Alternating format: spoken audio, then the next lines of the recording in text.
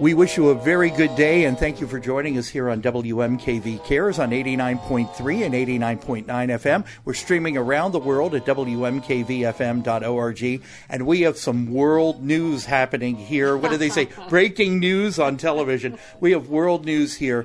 I am actually visiting today with Abby Schwartz, the director of the Skirball Museum at Hebrew Union College Jewish Institute of Religion in Clifton, where March 5th will be the opening of a new exhibition called Rembrandt and the Jews, the Berger Print Collection. These are a set of etchings that are coming in from the Westmont Ridley Tree Museum of Art in Santa Barbara runs March 5th through April 30th. Abby, thank you for taking a few moments to talk a little bit about Rembrandt today and to tell us about this exhibition. I'm delighted to be here, George. My pleasure. People may have seen at the Taft Museum there is a painting done by Rembrandt Many people may not know that Rembrandt also did these incredible etchings. And these are actually a series, I believe, of 20 plus etchings from the Westmont Ridley Tree Museum of Art, but also there will be some local connection here thanks to the B'nai B'rith Klutznick collection, which is now here at the Skirball Museum at Hebrew Union College Jewish Institute of Religion. And there's even a surprise we're going to talk about later. You want to talk about something being, if I can use the word beshert, meaning it was meant to be. I'm showing a little bit of the Yiddish side here, but we're going to talk about something that was found out after this whole exhibition was arranged to come here. So stay tuned for a great story coming up later in the show. But let's talk for a moment about Rembrandt. Many people have seen his paintings, and I have to tell you, I've seen some of the etchings and some of the artwork that's going to be on exhibit here. I've seen them in the catalog. And the same beautiful, masterful control of light, of shadow that Rembrandt brings to paintings, he does in these etchings. For those who aren't familiar with this difference, what is the difference in what people will see in this Rembrandt show, Rembrandt in the Jews, the Berger print collection? The most important thing that I think I can say about Rembrandt and his career was that he was a master printmaker. And in his career, he made nearly 300 etchings. And he pushed the limits of this medium to places where no previous printmaker had ever gone, and he is still considered one of the great printmakers of the Western world. The reason for that is that, just as you said, where he was such an amazing painter in terms of capturing the contrast of light and dark, uh, we call that chiaroscuro, and having areas that were deep in shadow and others that were glowing with light, he achieved that in the medium of etching, which to someone who is not an artist, and even to those who are artists, when you understand this medium, which is basically taking a copper plate, covering it with a ground, etching into that ground, drawing into that ground with an etching needle, and then putting that entire copper plate into an acid bath and taking it in and out multiple times so that certain lines are deeper and certain lines are less deep.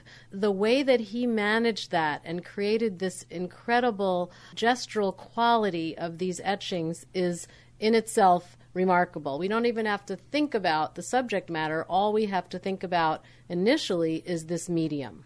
There was no computer assisted graphics oh, here. No. This is we're talking 1600s and Correct. now you come from the Taft Museum as well. You have a great background with the Taft Mm-hmm. Museum. So you're a fine arts person and this has to be near and dear to your heart to bring Rembrandt and these etchings which actually I would say it's even beyond art. It's also a capturing or a glimpse of a culture. Mm-hmm. First of all, your take on just bringing it here to the Skirball Museum. You have to be thrilled. Yes, well, I am thrilled. And of course, the catalyst was these three etchings that came to us in the collection of the B'nai B'rith Klutznick National Jewish Museum, which we've had now as part of our collection since 2015.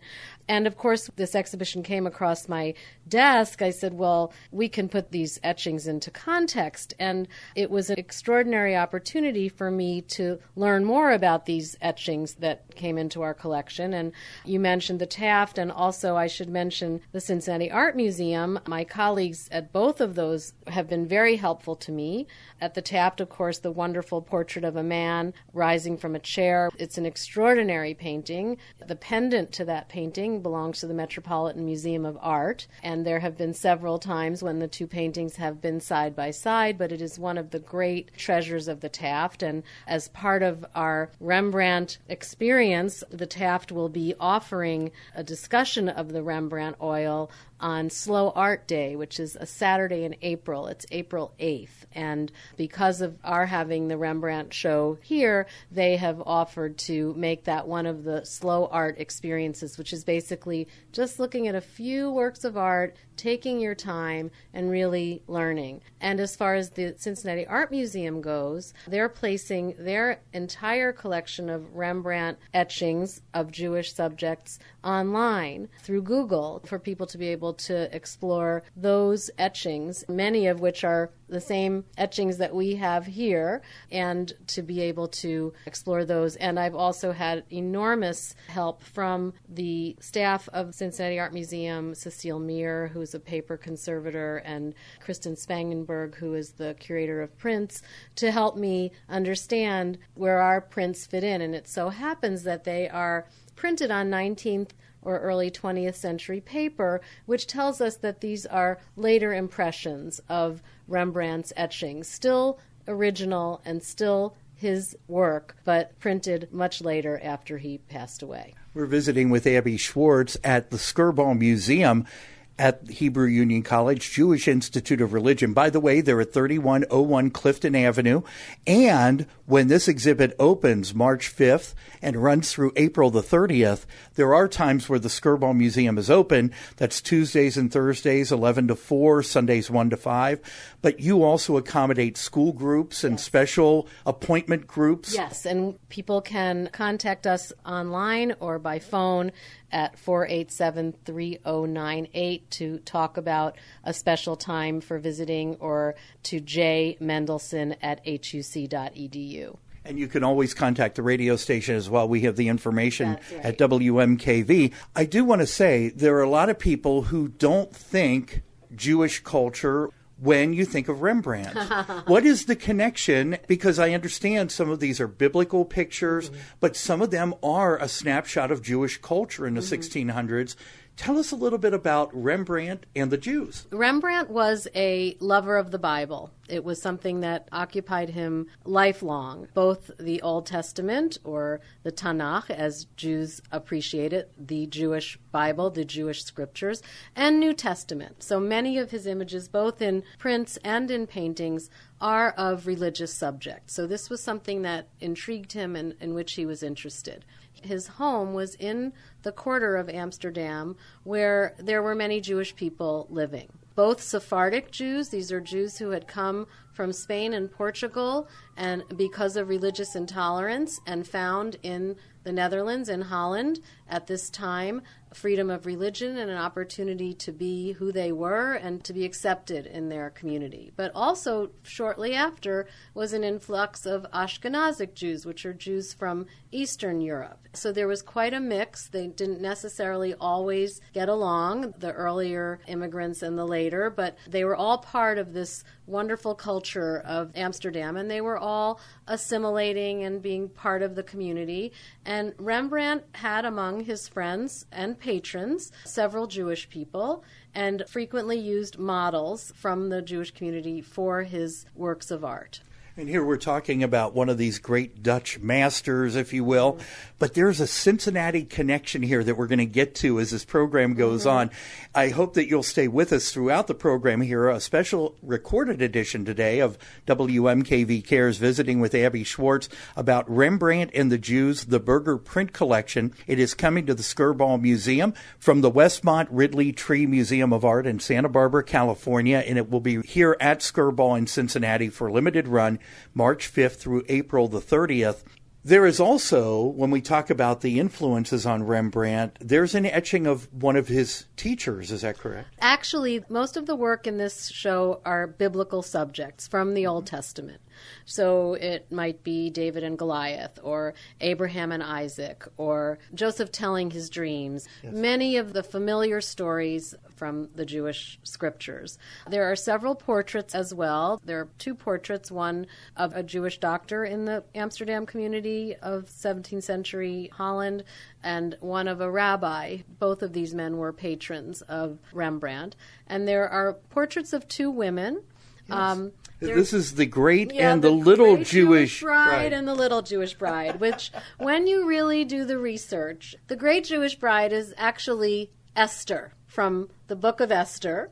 And the reason that she was ever even associated with being a Jewish bride is that she's wearing a pearl headband, which was something that Jewish brides wore in Amsterdam of the 17th century. But she's holding a scroll in her hand, which would be the scroll that she and Mordecai, her cousin, wrote to the king, Ahasuerus, to encourage him to let the Jewish people live and to practice their religion and to actually live because there had been an effort to completely annihilate them. And the little Jewish bride is actually a portrait of Rembrandt's wife, Saskia, posing as St. Catherine. So it's very ecumenical. Very ecumenical. and that's there's a point to be made there because the assumption by early scholars who were looking for a way to connect Rembrandt with the Jewish people to make him sort of a Jewish artist even though his family was his mother was Catholic, his father was Dutch Reform. There seemed to be an affinity and people looked for ways to make that true. And this it wasn't really the way. But St. Catherine was tortured on a wheel, and the wheel features in this little Jewish bride image. So its current scholarship is that it is not the little Jewish bride. Very good. If you're just joining us here on WMKV Cares, we are previewing a very special exhibition coming to the Skirball Museum at Hebrew Union College Jewish Institute of Religion. They're located at 3101 Clifton Avenue in Clifton. This is an exhibition called Rembrandt and the Jews, the Berger Print Collection. It is coming here from the Westmont Ridley Tree Museum of Art in Santa Barbara. It is running from March 5th through April the 30th, and these are prints from etchings done by Rembrandt and there are 22 that are coming in from Santa Barbara. Mm-hmm. There are at least three different etchings from the B'nai B'rith Klutznick collection, which mm-hmm. is part of Skirball Museum's mm-hmm. collection now here in Cincinnati. Abby, if people want to find out more about bringing a group out for this or about making reservations, maybe there's a civic group that wants to come out and sure. see this or an art lovers mm-hmm. group. How's the best way to make arrangements maybe for a special time? We are very happy to see groups, and we have many already planning on coming. We expect it to be popular, and it's not here that long. So if you're interested, give us a call at 487 3098 or contact J Mendelson at huc.edu and we can set you up with a special time for a tour. Now, as we're in the second half of the show, and I want to make sure we keep giving that information out so people know that sure, they can get here. Sure. There is a Cincinnati side to this Rembrandt story. We're talking about Holland, we're talking about Jewish culture. Somehow, it all folds back to Cincinnati. I think everything in history always comes back somehow to Cincinnati. How in the Dickens? Well, we're talking about Rembrandt, not Dickens, but how how how did Cincinnati come back into play here? This was a wow moment for you, was it? Was it a totally wow moment for me. On my worst day at work, there's always something that will totally amaze me. And this wasn't just such an experience. I sat down to read the catalog that came with the show. And in the opening remarks of the scholar who wrote the essay, the main essay for the catalog, it opens with a section that's all in italics. And I read that section. And then I read what the scholar wrote about these words. And it turns out that these words were written in 1946. They start with this sentence It has proved a comfort to me in the era of European Jewish tragedy to dwell upon the life and work of Rembrandt. Here was a man of Germanic ancestry who did not regard the Jews in Holland of his day as a misfortune, but approached them with friendly sentiments, dwelt in their midst, and portrayed their personalities and ways of life. So that's the beginning of a long couple of paragraphs written by a man in 1946, just after the end of the Second World War. And I went on to learn that the man who wrote these words was a man named Franz Landsberger. He was a scholar born in Germany. He was the director of the Berlin Jewish Museum.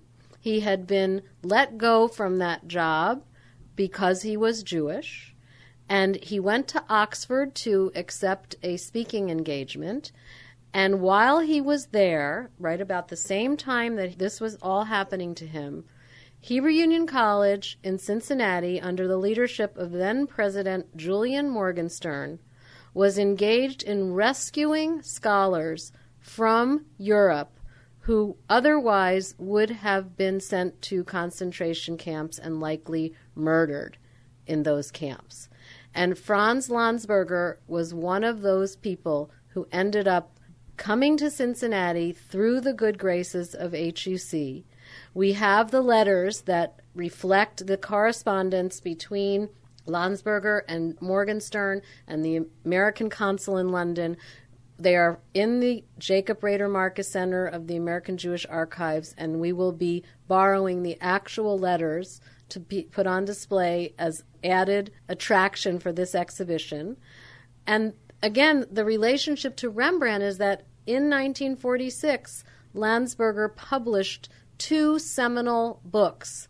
One was called A History of Jewish Art. This was the first modern look at what we can consider to be Jewish art, which is a debate that still continues. Landsberger made a case, and you know other scholars have since augmented it or argued with it, but there's no questioning that he was the first modern scholar to really approach this topic. And then the other book that he wrote is this book that I have right here on the table Rembrandt, the Jews, and the Bible. And in that same year, 1946, he published this book, which again was the first really modern look at Rembrandt's fascination with Jewish subjects. And again, his theory was basically, as I as you could probably tell from that first line, that the Jews were outsiders. He was sort of a little bit of an outsider. He didn't fit the mold of a lot of painters of his day and artists of his day. He wasn't a specialist in one area of either still life or portraiture or genre. He he really did everything and he wasn't always understood in his own time. So Landsberger projects onto Rembrandt this idea of being an outsider, of being the other, of being alien. And that has largely been dismissed by modern scholars, and uh, people are looking at Rembrandt's biblical subjects more in the context of the religious milieu of 17th century Holland, which was a Protestant country, but there's a lot of Calvinist theology that Rembrandt would have been aware of, but he also was very much interested in the Jewish perspective and spoke often with his Jewish friends and his patrons about the Jewish Bible. So, whatever the reasons, Landsberger was the first to really make this a significant connection and write an entire book about it. And here he was at HUC, and he continued to stay here. That many of the people who were rescued, among them was Abraham Joshua Heschel, who went on to be one of the great rabbis involved in the civil rights movement. He didn't stay in Cincinnati. Landsberger stayed here, and he became the curator of the museum that preceded the Skirball Museum. Wow. It was called the Union Museum. And he was the curator and lived here and stayed here and worked here until his death in 1964. So who knew? Right. Uh, you know, we always say we all love Cincinnati. Many of us are from Cincinnati our whole lives. And you look at this and say, wow, everything does come back here. But this is one where it wasn't even anticipated. That wasn't totally one of the. surprised by this. And I really, really it, it makes me so proud, really, to think about someone whose scholarship likely would have never emerged because of the Holocaust and because it's not likely that he would have survived the war. We have Abby Schwartz here with us. Abby, we're down into our final minutes, and I know that you have some public programs. I think you've already alluded to at least one of them. Mm-hmm. The opening night on March the 5th here actually that afternoon, four o'clock, yes. is going to be a Baroque concert, yes. taking us stepping right back into the 1600s. Exactly. Tell us a little bit about what's going to be happening with that evening with the grand opening of the exhibition, right. but then the other public programs that are coming up Absolutely. as we wrap up here today. Absolutely. So on Sunday, March 5th, we're calling it Sights and Sounds of the Age of Rembrandt, and we're starting with a lovely concert. It's the annual Wendy Cantor Memorial Concert called The Golden Age of Baroque Music, and we have the Harmonati Ensemble that are going to be performing music by 17th century composers, including Schmelzer, Biber, Stradella, among other composers. And one of the cool things is that the musicians are going to be playing period instruments. Oh, wow. So there will be, of course, violin, there'll be traverso, there'll be, there'll be viola da gamba, there'll be cello, there'll be harpsichord, organ, and viola. So that will be extraordinary at four. And that will be in the Scheuer Chapel, which is on the campus of Hebrew Union College, just a few steps from the Skirball. So after the concert, everyone will gather at the Skirball. We'll have a lovely reception with some light hors d'oeuvres, and then we'll open the show with some remarks that I'll make and uh, the dean of the college will make and we will open the show at 5.30 quarter to 6 and it'll be open till 7.30 that night And this is open to the public. open to the public and free to the public Fantastic. That's that's And- perfect. Now, other public then- programs, yes. you have some more in March and going into Right, April. right. In March, on the 20th of March, it's a Monday evening. We are going to be thrilled to have Dr. Shelley Perlove, who is Professor Emeritus of Art History at the University of Michigan. So, all of you U of M alums, I know there are a lot of you in Cincinnati. My husband's one of them, as is my daughter. Come and join us for this. Her topic is Rembrandt's fascination with Judaism. She has written an award winning book, Rembrandt's Faith, Church, and Temple in the Dutch Golden Age. And she's a terrific speaker, and she will be engaging with us about Rembrandt's art and faith with a particular emphasis on his fascination with Judaism. And we're doing that in cooperation, in partnership with the Mayerson JCC. So we're delighted to be able to offer this lecture in partnership with our local JCC. And then the next program is a lunch and learn. We'll provide a lovely lunch and we'll meet at noon on Thursday, April 6th in Mayerson Hall here at the college where the museum is located. And we'll get to hear Dr. Kristi Nelson who is Professor Emeritus of Art History at the University of Cincinnati. She's a specialist in Dutch and Flemish art. She was my advisor for my master's thesis, and I took many classes with her, and she is a terrific teacher.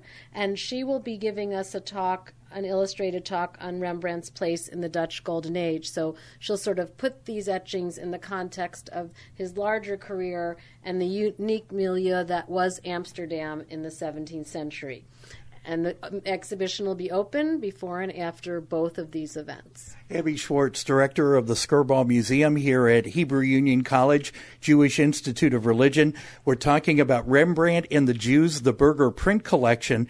It is running March 5th through April 30th. Abby, if people want to find out more information, because we've given a lot of information on this program, as we always do, what's the best way for people to find out more? Is there a place that they can check? Yes, if you want to learn more about the exhibition, just give us a call at 487 3098. You can also send an email to jmendelson at huc.edu.